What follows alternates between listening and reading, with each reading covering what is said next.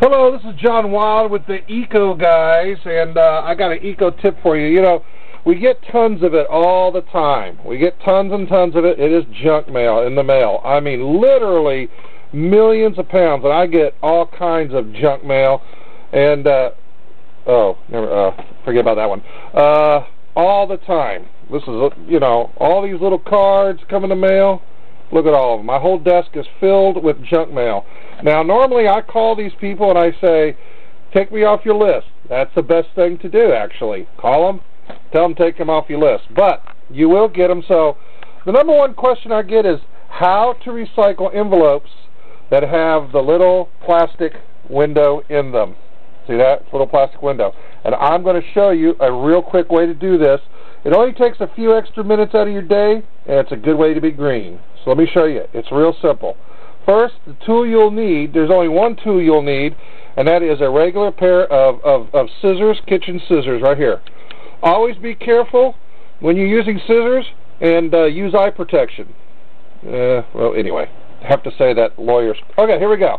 So, once you get your envelope, uh, let's see if I can do this here. It is real easy to process this thing. First off, they always have seams on them, like this. So just take the envelope and open the, up the seams on each side, one on one side, one on the other. When you do that, you open it up and you'll have something that kind of looks like this.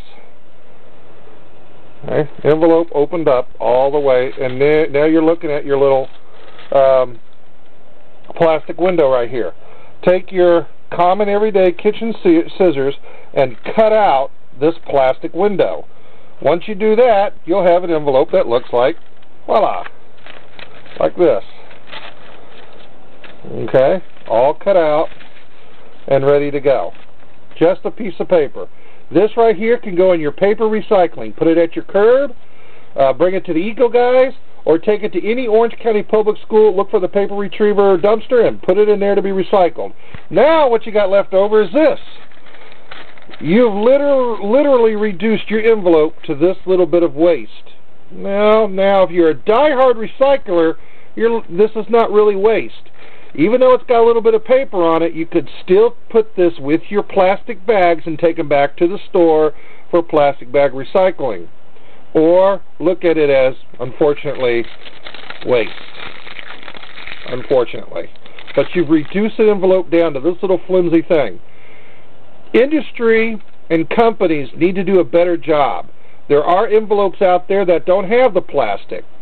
And we all need to encourage any business we deal with to use envelopes that do not use plastic windows.